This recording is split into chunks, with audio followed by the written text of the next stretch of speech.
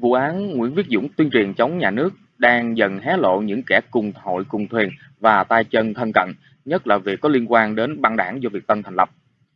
Nói Nguyễn Viết Dũng, tức Dũng Phi Hổ bị cơ quan an ninh điều tra công an tỉnh Nghệ An ra lệnh bắt khẩn cấp trưa ngày 27 tháng 9 năm 2017 khi đối tượng đang tiến hành gặp gỡ một số linh mục cực đoan ở Nghệ An. Ngay sau khi bắt Nguyễn Viết Dũng, cơ quan an ninh điều tra công an tỉnh Nghệ An đã hoàn tất các thủ tục khởi tố vụ án hình sự, khởi tố bị can đối với Nguyễn Viết Dũng về hành vi tuyên truyền chống nhà nước theo điều 88 Bộ luật hình sự năm 1999, sửa đổi năm 2009 và ra quyết định tạm giam để điều tra về hành vi này.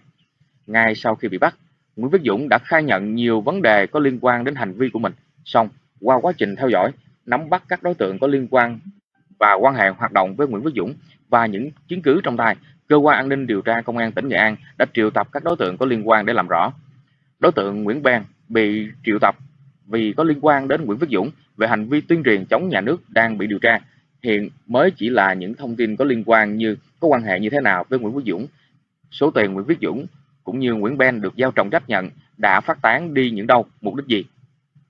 Theo tất cả mọi nguồn thông tin thì mọi vấn đề khác đang được làm rõ và vai trò của Nguyễn Ben trong băng đảng Đệ Tam Cộng Hòa mà Nguyễn Viết Dũng được phong làm tổng thống. Có khả năng Nguyễn Ben chính là nhân vật số 4 nằm trong bức ảnh 5 người tham gia trong băng đảng Việt Tân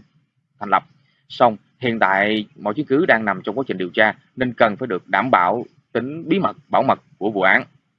Song Nguyễn Ben là nhân vật cầm cán và tay sai đắc lực cho Nguyễn Viết Dũng có khả năng giữ vai trò tài chính hầu bao của băng đảng này nên mọi việc, mọi vấn đề tài chính từ nước ngoài gửi về đều đứng tên người nhận là Nguyễn Ben bởi Nguyễn Ben đã công khai tài chính trên trang cá nhân của mình. Cơ quan an ninh điều tra công an tỉnh Nghệ An vẫn đang tiếp tục điều tra vụ án và bất cứ ai có thông tin, chứng cứ gì, xin liên lạc trực tiếp với công an tỉnh Nghệ An hoặc gửi vào các địa chỉ mà à, cơ quan cảnh sát điều tra công an Nghệ An đã công bố trên các trang thông tin đại chúng. Và dĩ nhiên đây là điều kiện để các cơ quan điều tra đảm bảo việc điều tra và xử lý đích đáng những kẻ bán nước.